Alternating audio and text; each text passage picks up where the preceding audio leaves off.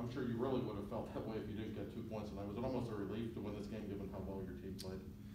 Yeah, I thought, you know, I, I thought our guys played hard, you know, tonight. I thought we played hard in Nashville, you know, it, um, and, and if we put that kind of a game on the ice consistently, we're gonna give ourselves a chance to win on most nights. You know, I thought tonight we were the better team for a lot of the night.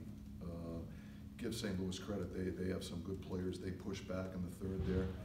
Uh, at the end of the second, they push back uh, were, you know, they, they scored a couple of goals. But the most encouraging part for me was when they tied the game up, it, it didn't, it didn't affect our mindset just as far as playing on our toes and getting back to the game that we think gives us the best chance to win. I thought we just got right back to work and, and, and just tried to keep playing the game, though, you know, to, trying to play to our strengths. So that, that was a real encouraging part for me.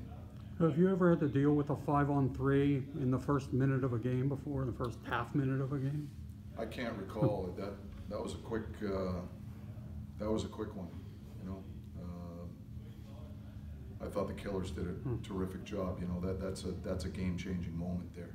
You know, if they, if they score one or two goals on that circumstance, that was an extended five-on-three, it wasn't a short one. And so, um, I, I thought the guys that, that killed that just did a terrific job for us. Mike, what's been different about the PK over the last five games? I think you've only allowed one goal over that span. I mean, obviously Teddy's back, but beyond that. Yeah, I think the guys are doing a good job, you know, they're committed. Uh, I think Mike's, Mike's done a great job getting them on the same page. I think the players themselves have done a terrific job, just, uh, you know, we're, we're, we're winning more face-offs, we're getting, you know, two hundred foot clears, sometimes they're shared clears where it takes collective effort to get the puck down the ice. I think we're stingy on the entries, we're doing a better job making the entries tough.